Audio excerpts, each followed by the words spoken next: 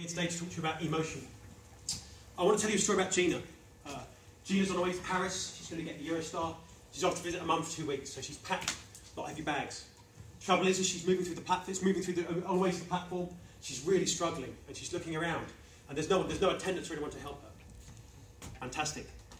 However, what if there was a way that we could help Gina without her asking for it? This is eMotion. We aim to transfer, transform emotions into data thereby transforming the customer experience one story at a time.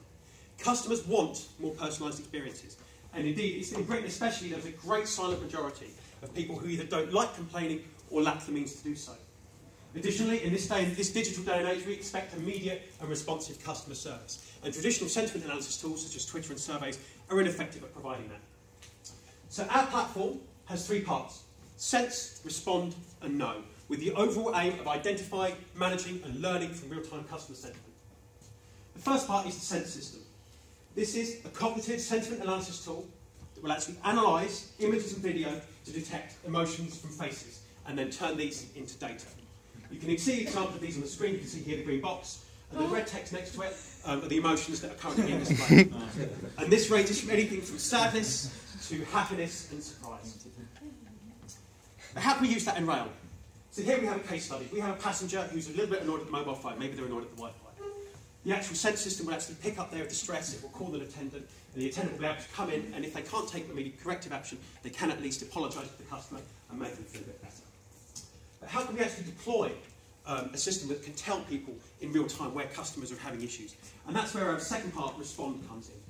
What this is, it's an app that we can deploy to a mobile phone and hand to a, a train attendant and what they can do, they can scroll through the train and see where customers are experiencing issues. For example, here we have a customer called John Doe, he's a frequent traveller, um, he's got an issue. So we can actually go to John Doe, find out what his problem is, um, and then in this case, John's having a bit of trouble putting his luggage in the rack.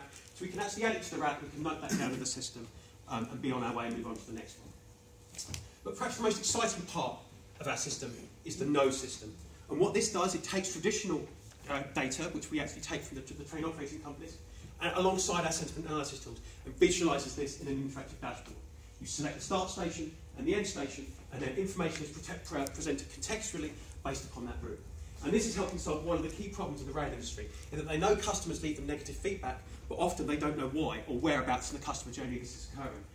If we were to deploy our system not only to trains, but also to places like platforms, concourses and so on, we can now start to identify where customers' particular pain points are and how we can address them. In terms of our business model, we're operating a software as a service business model. We estimate there is an £800 cost of installing our infrastructure in the carriage, as well as a £400 a month upkeep uh, fee. Additionally, we are, more, we are more than able to actually deploy um, in, alongside, alongside our customers and train operating companies' existing systems as well. Lastly, in terms of benefits, I think one of the key things in the rail industry is not only understanding what they need to improve, but understanding what they need to do well so they can build upon it um, and the system will actually enable them to do that with its kind of the granular approach. Additionally, understanding you know, the customer's pain points and the impact of each incident to each customer um, is actually a key area that we believe that we can help and offer something unique um, that isn't currently uh, available in rail.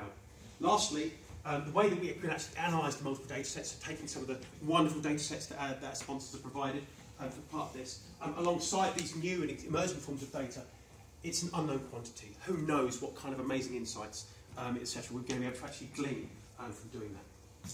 So, ladies and gentlemen, thank you very much. Uh, we're in motion. Thank you. Thank you.